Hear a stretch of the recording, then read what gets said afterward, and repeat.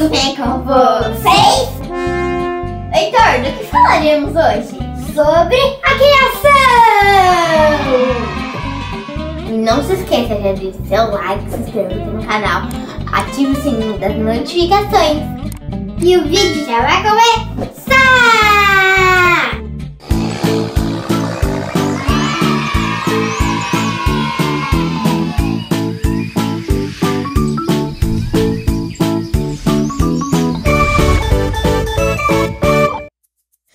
Princípio, Deus criou os céus e a terra. E a terra era sem forma e vazia. Então Deus disse: Apareça a luz. E a luz apareceu. Deus chamou a luz de dia e a escuridão de noite. Esse foi o primeiro dia. Deus disse: Apareça um firmamento que chamou de céu.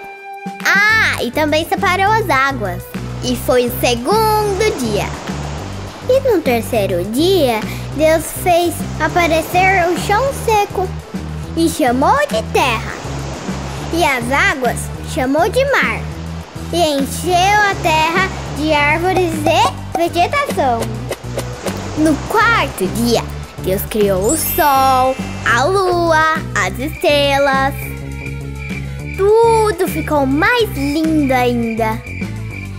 E no quinto dia, Deus colocou no mar peixes, baleias e um montão de seres.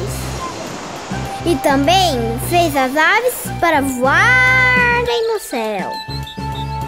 No sexto dia, Deus criou um montão de animais e bichinhos.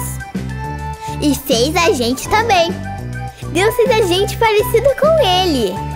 Que legal, né? E além disso, deixou que a gente cuidasse de tudo na terra. E no sétimo dia, Deus terminou o trabalho.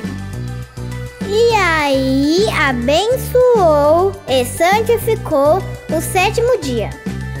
E descansou. E essa foi a história da criação.